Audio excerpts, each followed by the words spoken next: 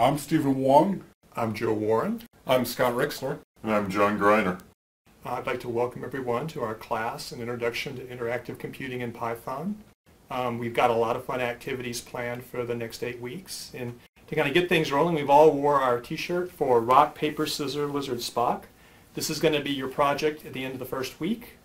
So guys, let's just play a game of kind of a battle royale here and just uh, we'll show them how it works. Okay, ready?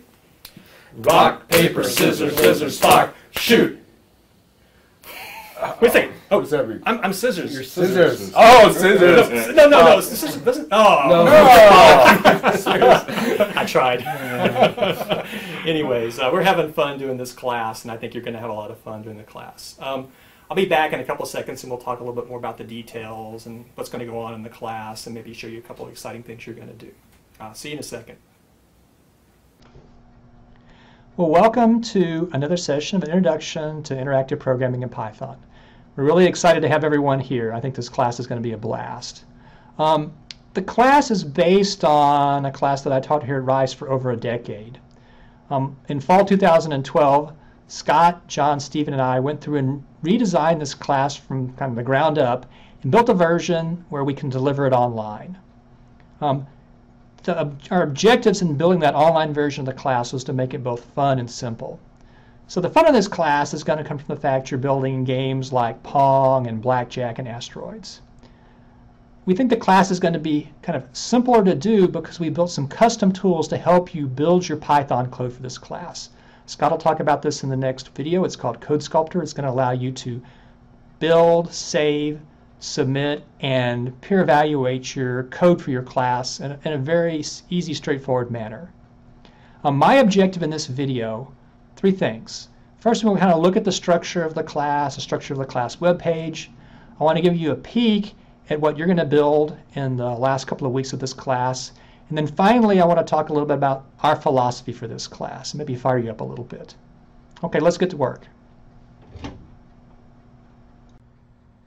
Okay, let's walk through kind of the structure of the class web page because I think this will give you kind of a feel for the flow of how the class works.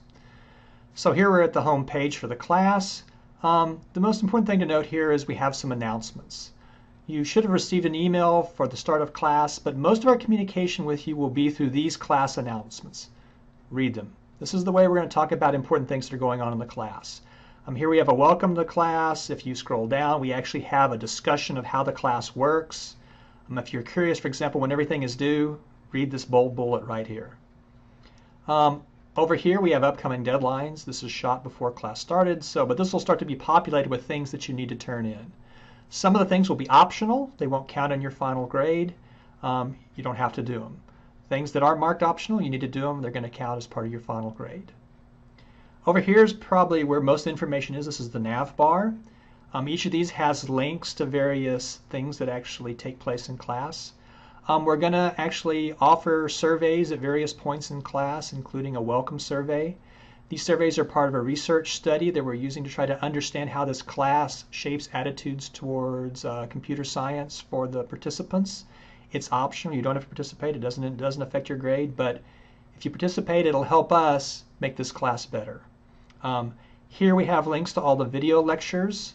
Um, the thing to note here is we've actually expanded the class from 8 to 9 weeks. The original version had um, video for weeks 1 to 8. Um, based on class feedback, we've added a week 0 to kind of introduce this material, kind of the introductory material, a little more slowly, give true novices a little more time to kind of acclimatize to what we're doing. So you'll see there's now a week 0 in there. Um, if you notice any kind of sequencing errors or issues with continuity in there, um, just be aware that we've added this week zero after the fall 2012 session, so be patient with us. It's hard to shoot lots of new video. We decided to focus on providing you with some new tools that we'll show instead when we offered this session. Um, quizzes. Quizzes are part of the things you're going to use to kind of assess how you're doing in the class. They're machine graded. For most weeks, there'll be two quizzes per week. There'll be a soft deadline on kind of Tuesday night, Thursday night. Um, the hard deadline will always be at 0500 GMT on on Sunday morning. So it's going to kind of, for most of you, be due sometime late Saturday night or early Sunday morning. Um, there's no penalty for turning it in up to the hard deadline. After the hard deadline, there's no late submission. Um, the mini projects.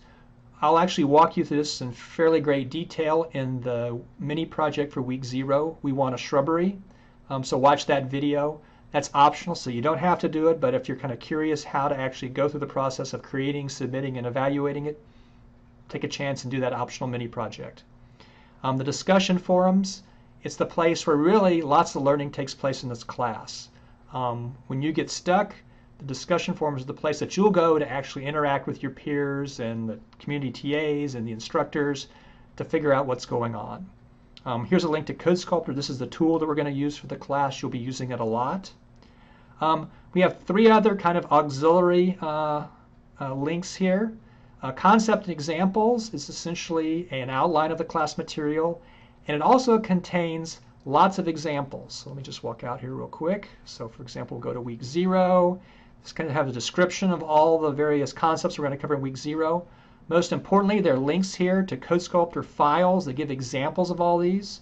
So if you're stuck and you need another example to understand a concept, you can come out here and look at this.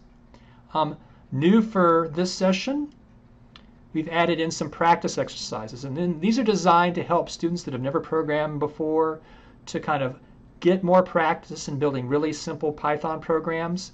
Um, these are designed for self-study. We give you a template with kind of a statement of what you need to do, and then we provide a second, a second version that's the solution. So what you should do is read the problem, take the template, do it, and when you're done, look at our solution and compare the two. We have about a dozen for each of these each of these half weeks here. Um, the last thing is I have there's a tool called PyStep that we've built. It's designed to kind of help you understand evaluation for Python programs. Um, there'll be a video on it in week one, so when you get there, watch the video, go out and play around with it. It's kind of another way for you to help understand how basic Python works. Um, that's really the main overview for what you're going to see here. Um, again, the critical thing to do is to go back to the main page here and read these messages because this is really going to keep you up to date on what's happening in class. Okay, let's go on and take a peek at what you're going to build in the class. Well, I promised you a peek at your final project, and here it is. Um, this is Rice Rocks. Um, it's basically a clone of the 80s arcade game Asteroids. Let me just show you how it works here. We'll click to get started and we use the arrow keys and we can fly our spaceship around and we destroy asteroids. Every asteroid we destroy we get 10 points. If I happen to crash into an asteroid I lose a life. And the goal is to score as many points as possible um, in your three lives. Now, looking at this, it may seem kind of hard to imagine you could go from knowing nothing about programming to building a game like this in nine weeks. The reality is we've designed the class to teach you in each week a little bit more of Python so that in those last two weeks you can build this project. Now we're going to give you a fair bit of support in building that project. We're going to provide you with custom art. We're going to provide you with professionally produced sound. Um, we're going to provide you with lots of videos and quizzes and things to help you understand how to do it. Um, but it's, it's not impossible. Um, 4,100 people in fall 2012 managed to finish this project. Um, my hope is for this session we can get 10,000 students to build this project. And I hope you're one of them. So with that said, let me go on to the kind of our last segment. I want to talk a little bit about the philosophy of the class because I'll echo what I just said there. All right, let me finish up with kind of a little bit about the philosophy that we have for this class. We're going to do our best to put on a great class. Um, we're experimenting with new techniques and new methods to help you learn the material better. Um, we may try, for example, some studies involving how to improve peer assessment. We've created PyStep. Um, when the things that we do, sometimes if they go wrong, we need your patience. We'll work really hard to fix them. Um, if something specific to you goes wrong, just remember there's going to be many tens of thousands of students in this class, and it's going to be very hard for us to address individual concerns. But again, we'll try our best. We need something from you. There's going to be times when you're working on the mini project where you're going to get stuck. You're going to be like, I don't understand what's going on. I don't know why my code's not working. I'm going to talk about in rock, paper, scissors, lizard, Spock some very tangible things that you can go through to try to keep making progress on the mini project. But I can only tell you the most important attribute you need right now is tenacity. Okay? If you get frustrated and you get stuck, don't quit. Take a break for a little while. Come back and work on the mini projects some more. Um, I think you'll find that as you kind of work your way into the class, the excitement of actually building your mini projects and getting them working will kind of carry you through the frustration that you feel if you're getting stuck at some point in the process. Let me say one more thing about video. Um, there's times in this class where we're going to do goofy stuff. Our goal is to be video, is to be funny. Sometimes we're lame, I admit it, but we're trying to avoid being boring. And so I'll end this with actually pointing you back to kind of another version of our introduction that I got ganged up on and had suppressed. So take a look at it. Um, you guys ready to play? Yep. Ready? Okay. Rock, paper, scissors, lizard, Spock, shoot! All right, let's do it again. Do it again, guys. Right. Ready? Ready? Rock, paper, scissors, lizard, Spock, shoot! Oh, let's see. I cover that. I cover that. What did you do, Scott? What, you, uh, paper disproves Spock. Yep. Oh yeah. Anyways, uh, we were having a lot of fun in this class, and uh, I think you're going to have a lot of fun too.